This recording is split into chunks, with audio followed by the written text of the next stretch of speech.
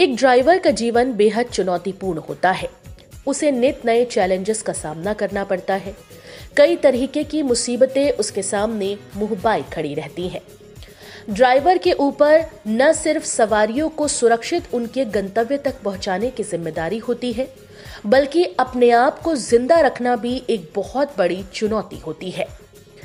आपने देखा होगा कि कई बार ड्राइवर्स को ऊँची नीची सड़कों पर चलना पड़ता है। तो कई बार बारिश की वजह से फिसलती हुई कीचड़ भरी सड़कों पर वाहन को दौड़ाना पड़ता है। कई बार दुर्गम टेढ़े मेढ़े पहाड़ी रास्तों पर वाहन चलाना पड़ता है तो कई बार बर्फ़ के ऊपर भी वाहन को धीरे धीरे खिसकाना पड़ता है।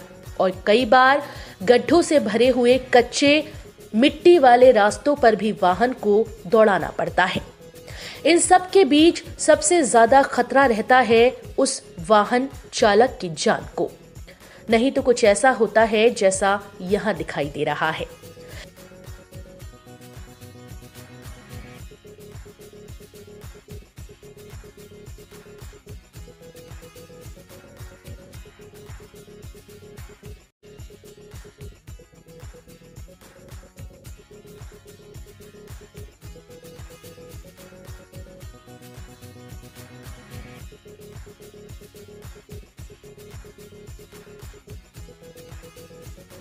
यहाँ पर आप देखेंगे कि एक ट्रक है जिसे दूसरे ट्रक की सहायता से आगे खींचने का कार्य किया जा रहा है।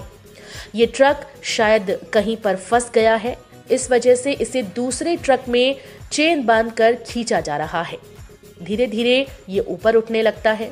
पहले लगता है कि शायद ये रोड पर आ जाएगा और सही से चलने लगेगा, लेकिन तभी अचानक ये ट्रक पलट जाता है और सड़क से नीचे गिर जाता है। नीचे भी काफ़ी गहराई थी। आप देख सकते हैं कि कैसे ये ट्रक नीचे जाकर उल्टा पलट जाता है और वहाँ आसपास खड़े हुए लोग इस ट्रक के पास आते हैं और चालक को देखने की कोशिश करते हैं। ऐसा पहली बार नहीं हुआ। ऐसा कई बार होता है। कई बार ओवरलोडिंग की वजह से अक्सर आपने देखा होगा कि ट्रक दुर्घटनाग्रस्त होते हैं, हादसों का शिकार हो जाते हैं। कई बार सड़कों की वजह से ऐसी दुर्घटनाएँ घटती हैं।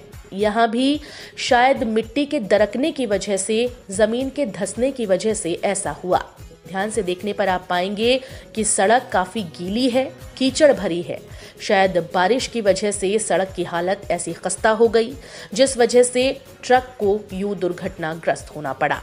इसीलिए हर बार हर चीज़ के लिए ड्राइवर्स पर सीधे उंगली उठा देना, आरोप लगा देना सही नहीं होता, क्योंकि ड्राइवर की ज़िंदगी भी बहुत संघर्ष भरी होती है, चुनौतीपूर्ण परिस्थितियों में होती है।